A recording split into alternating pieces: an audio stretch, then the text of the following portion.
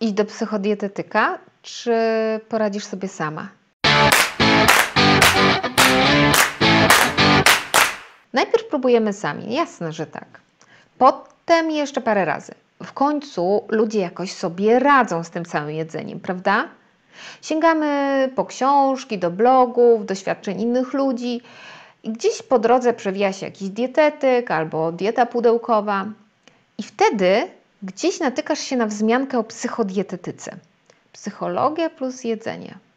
W sumie mówi się, że odchudzanie zaczyna się w głowie. Ale co to znaczy? Czy to jakaś terapia, czy jak? Mm, może jednak dasz radę sama. W tym filmiku zobaczmy więc, kiedy warto sięgnąć po pomoc i na czym ona może polegać. A na koniec weźmiemy na tapetę rozmaite przekonania, które często towarzyszą w wyobrażeniu pracy z psychodietetykiem. No dobra, to kiedy dasz radę sama? Załóżmy, że tak się złożyło, że przytyłaś w pandemii albo w ciąży.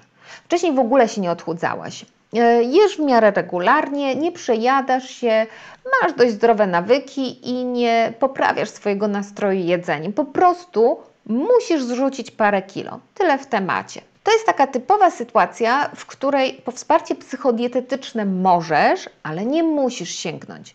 Jeśli się zdecydujesz, to będzie pewnie to parę spotkań i to nawet być może niekoniecznie regularnych. Tak, żeby sobie pewne sprawy przegadać i poukładać, dopytać się i upewnić a resztę doczytasz sama w internecie, wprowadzisz kilka zmian w sposobie jedzenia, zaczniesz, nie wiem, częściej się ruszasz, ruszać i nawet bez żmudnego liczenia kalorii po prostu osiągniesz swój cel. A kiedy lepiej sięgnąć po wsparcie psychodietetyka? Sama sprawdź, ile z tych rzeczy, o których Ci powiem, dotyczy Ciebie. Jedzeniem rozładowujesz napięcie i stres i nic się tak nie odpręża jak coś słodkiego. Albo od wielu lat jesteś na dietach, albo przed, albo w trakcie, albo tuż po.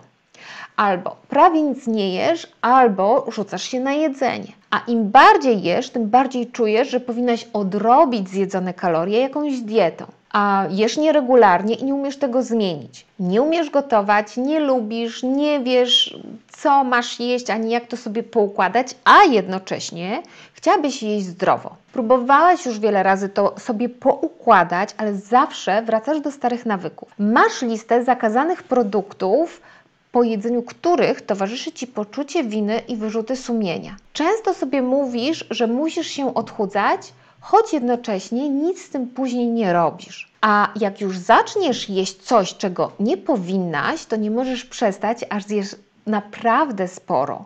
Nie umiesz wytrwać w postanowieniach. Prędzej czy później rezygnujesz i żadna zmiana nawyków nie trwa zbyt długo. Masz dużą wiedzę o jedzeniu, ale i tak nie potrafisz wprowadzić tych wszystkich zdrowych zasad w życie. Coś brzmi znajomo?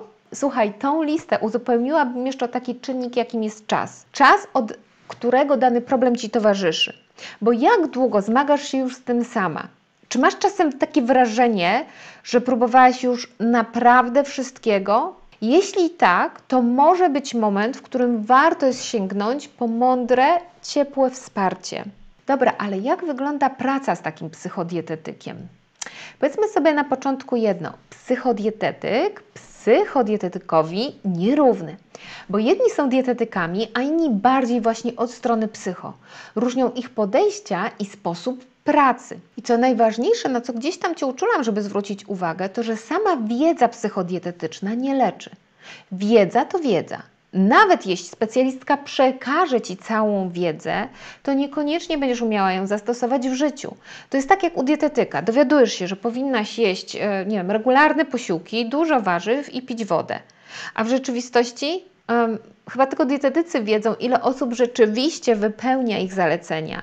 I to nie tylko w czasie trwania wspólnej pracy, ale i lata później. Dlatego warto, aby psychodietetyk miał też umiejętność takiego poprowadzenia Twojego procesu, aby zmiany utrwaliły się w Twoim życiu na stałe. I tu przechodzimy do konkretnych metod pracy. I tak dla przykładu, może to być terapia skoncentrowana na rozwiązaniach, czyli tak zwany TSR, albo inne rodzaje terapii poznawczo-behawioralnej, a może coaching, albo w końcu mój ulubiony dialog motywujący. Dlaczego wybrałam pracę w dialogu motywującym? Bo z jednej strony mieści w sobie techniki z wielu różnych metod pracy, a z drugiej ma w sobie jeden element, który wyróżnia go ze wszystkich innych podejść. Dialogu motywującym jest sporo luzu i akceptacji w stosunku do naszego normalnego, ludzkiego wahania, do tego, że czasem chcemy coś zmienić, ale jednocześnie mamy w sobie pewnego rodzaju lęk albo opór.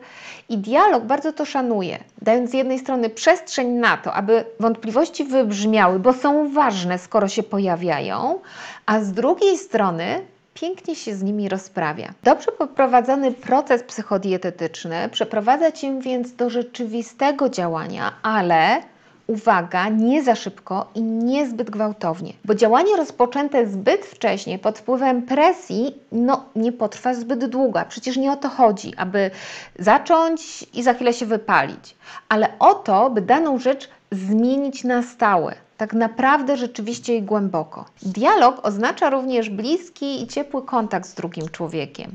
Nie ma oceniania, pouczania o tym, jak powinno być, czy jakichś wymagań z mojej strony. Jest za to dużo empatii i szczerej chęci zrozumienia, jak to jest w Twoim świecie, co jest tak naprawdę dla Ciebie ważne. To powiedzmy sobie jeszcze o pułapkach, błędach i mylnych przekonaniach odnośnie e, psychodietetyków. Przekonanie byłam już na terapii i nie zadziałała. Jeśli masz takie doświadczenie, to przykro mi. Ja pracuję nieco inaczej niż terapeuta, bo nie tylko Cię słucham, ale i prowadzę pytaniami. I tak naprawdę to obie bardzo ciężko pracujemy podczas sesji, a Ty jeszcze dodatkowo pomiędzy nimi. Jeśli oczywiście masz taką gotowość, nie? Rozprawiamy się z trudnościami, konfrontujemy z tym, co zawsze stało Ci na drodze do Twojego celu, e, a rozwiązania, które wypracowujemy, odnosimy do Twojej konkretnej rzeczywistości, tak aby były realistyczne i do wdrożenia od dziś. Bo inaczej wygląda życie matki, nie wiem, dwójki małych dzieci, która siedzi z nimi cały dzień w domu, a inaczej, jeśli w tym momencie swojego życia stawiasz na karierę i jesteś poza domem na przykład po 12 godzin dziennie. Dlatego wszelkie rozwiązania muszą uwzględniać Twój sposób życia, Twój poziom energii oraz wszelkie zewnętrzne czynniki, jak na przykład brak czasu i siły na ćwiczenia po intensywnym dniu, mięsożerny mąż i dylemat gotować osobny obiad dla siebie czy nie, albo to, że lubisz polską kuchnię i cały dzień na sałatkach, to w ogóle nie jest Twoja bajka, albo to, że nie masz fizycznie czasu ani możliwości na gotowanie sobie codziennie obiadu i tak dalej. Rozumiesz o co chodzi?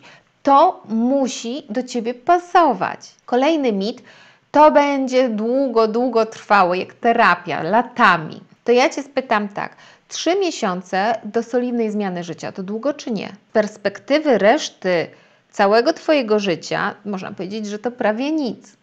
Czy to jednak będą trzy miesiące? Niekoniecznie. Spotkań może być mniej albo więcej. Jeśli wyjdą przy okazji jedzenia jakieś inne głębsze problemy, a jedzenie okaże się jedynie objawem, bo musisz wiedzieć, że na sesjach zaczynamy od jedzenia, ale zdarzy się tak, że wychodzą nam przy okazji inne kwestie, jak na przykład poczucie własnej wartości, poczucie sprawczości i wiarę, że możesz i dasz radę, albo to, że zakazy i nakazy budzą w tobie przekorę i bunt, albo różne przekonania o życiu, kobiecości, o tym, na co możesz sobie pozwolić, a co możesz sobie odpuścić, albo lęk, i to zarówno przed zmianą, jak i przed tym, że się nie uda. Z tymi przekonaniami warto jest sobie popracować i pozmieniać te, które na ten moment e, Twojego życia już Ci dłużej nie służą. Kolejne przekonanie to na pewno jest drogie. Ok, fakt faktem nie ma chyba jeszcze psychodietetyków na NFZ. Ale wiesz co, tak sobie myślę, że jak już coś zmieniać, to na całego. W końcu, jak długo pracowałaś na obecny tak, stan rzeczy? Dlatego ja pracuję głównie przez serię spotkań, czyli w procesach. Jeśli myślisz, to trochę pochodzę, a potem najwyżej zrezygnuję w połowie, to ja Ci powiem szczerze, nie zaczynaj, bo wtedy to jest faktycznie marnowanie pieniędzy. Pojedyncze spotkania, takie wiesz, jakby z doskoku, rzadko kiedy przekładają się na rzeczywistą zmianę. Dlatego, jeżeli już wchodzisz w proces, to wejdź w niego na całego i wytrwaj do końca. Kolejna rzecz, nie czujesz się gotowa. Wiesz co, nie musisz być. Nie naciskam na to, że od jutra musisz jeść w jakiś super zdrowy sposób. To nie u mnie. Ale za Twoim brakiem gotowości coś stoi, prawda? Może próbowałaś już kilka razy i boisz się, że znowu nie wyjdzie, albo na samą myśl o zmianie czujesz presję, jakby ktoś Ci coś tam nakazał. I to wszystko są ważne kwestie, dla których należy zrobić miejsce, zanim cokolwiek będziesz zmieniać. To podkreślam i zakreślam, bo ważne jest, aby wątpliwości wybrzmiały, zanim zaczniesz cokolwiek zmieniać. Nie unikaj ich. Lepiej jest się z nimi skonfrontować, zanim zaczniesz, niż żeby sabotowały cię na etapie faktycznego działania. Następna sprawa, jak nie schudnę, to będę się później musiała tłumaczyć. Nie będziesz, jeśli będziesz chciała, porozmawiamy o tym, ale wiedz pro, proszę, że ja nie oczekuję od Ciebie efektów. Nie popędzam Cię i nie odpytuję z tego, co jadłaś. Słucham Cię i wspieram. Ocenianie Ciebie i Twojego życia nie mieści się w mojej definicji pracy z drugim człowiekiem.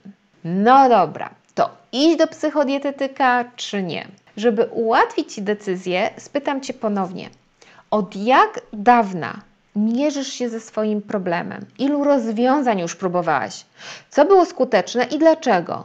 Co ci nie wyszło i dlaczego?